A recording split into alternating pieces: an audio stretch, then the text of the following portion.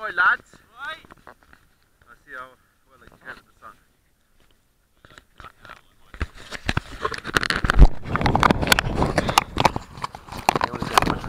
So it's a little bit chilly on the ears, so, but it's a pretty nice day overall. Well, it's pretty warm. My, Yeah. ears are quite toasty actually. Yeah, have you ever heard?